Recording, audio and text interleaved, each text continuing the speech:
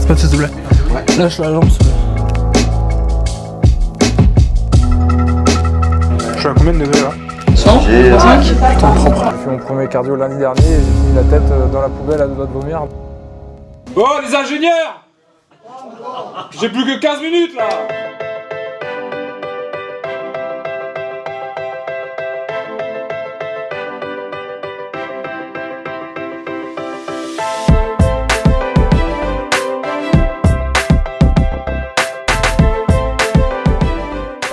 sens de plus en plus à l'aise. Euh, mon quotidien est beaucoup plus facile aujourd'hui. J'arrive à monter les escaliers, descendre des escaliers. Euh, J'ai une marche euh, à peu près normale, donc c'est vrai que mon quotidien est très facilité maintenant, donc c'est plus facile à vivre. Déjà tous les jours, je fais euh, 30 minutes de vélo à 8h du matin. Je commence ma journée par ça, tous les jours. Et ensuite des exercices de renforcement en kiné et aussi en musculation tous les jours. Et après, euh, du travail de drainage beaucoup et du- de la glace tous les jours aussi. Si vous pensez que là c'est agréable, c'est pas du tout agréable. Je suis en souffrance. Eh, ça ressemble plus à un genou déjà. Allez, maintenant je vais serrer et tu m'empêches. Il commence à y en avoir un peu là. Alors t'as des chevilles. Hein. Juste poser. Non, ne cherche pas à sauter. Ce pied là. Là. Voilà, rien. Voilà. Voilà, très bien. Ça c'est le mec qui m'a pété le, le croisé. Ça, c'est le mec qui m'a pété le dos. Donc voilà, après une grosse journée d'entraînement euh, avec les préparateurs physiques et les kinés, je vais attaquer ma deuxième partie euh, de boulot euh, en faisant ma formation de master immobilier avec euh, Neoma Business School. Déjà, j'ai toujours eu une éducation plutôt scolaire. Euh, mes parents ont toujours euh, pris très, au sérieux euh, ma scolarité. Et donc après, sur une seconde partie, j'ai toujours été anxieux et un peu stressé sur mon après-carrière, puisqu'on m'a rabâché toute mon enfance, attention, une carrière ça peut être court, attention, voilà.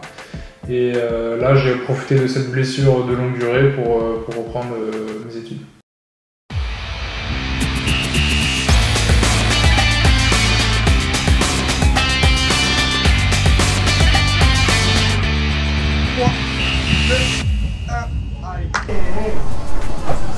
Ça permet d'enlever notre poids du corps.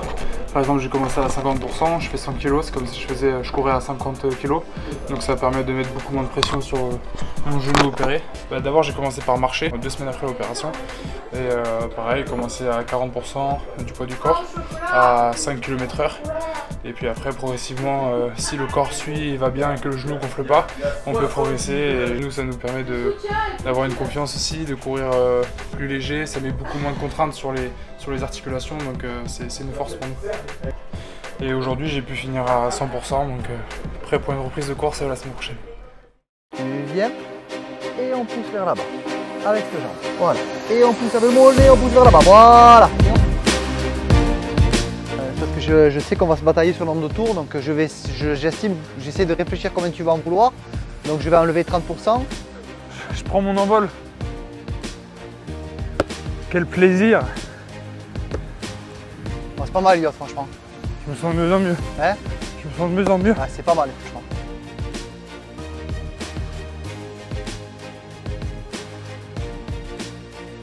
Le plaisir, il est, je vérifie si j'ai toute mon extension pour voir si j'ai bien travaillé. Voilà. Le plaisir, il est, est-ce que j'ai un joli talon fesse Est-ce que je suis délié? C'est là que tu vas trouver ton plaisir. Tu t'aperçois que ta jambe, elle fonctionne bien. Je me sens très bien, euh, une séance qui s'est très bien déroulée. Elle fait beaucoup de bien à la tête, ça faisait un moment que, j'y pensais à la reprise de course. Je commençais à en avoir un peu marre du, du bike. Je pense que j'ai pas dépassé les 11 km/h aussi parce que Mathieu euh, m'a dit plusieurs fois n'accélère pas, ça sert à rien, il faut être délié.